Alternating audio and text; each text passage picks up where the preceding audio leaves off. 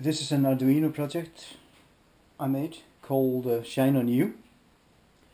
This is made with uh, Arduino Uno, uh, a GSM shield and uh, 100 LED bulbs, each with a uh, WS2801 control chip, making me able to control each and every one of them individually.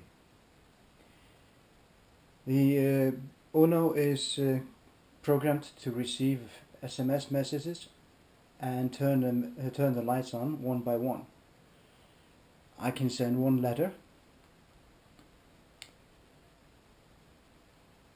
indicating a color red for R for red and G for green, B for blue and so on.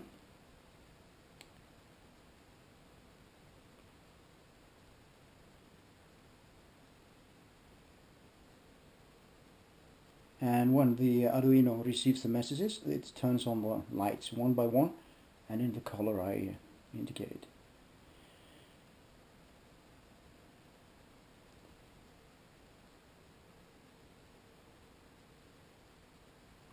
I can also uh, write the whole words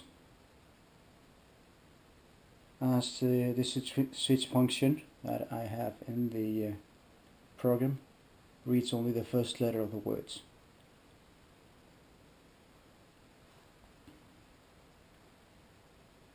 Of course, if the program receives a letter that that is not in the uh, in the uh, pre-programmed switch case function, the color won't change. For choosing a color that is not pre-programmed in the to into the switch case function, it is possible to send the message capital K, followed with uh, by your RGB code, and uh, in this case, it is. Code of uh, 085 to 12 000 send. And it will receive the uh, code and uh, decipher it and uh, put a new color on it. Well maybe not too obvious but still it changes colors. It is also possible to change the color of one single light bulb in the strip by sending the message X followed by the RGB code and then the number of the light bulb you want to change. In this case here it's uh, the light bulb number 50 I would like to change to blue.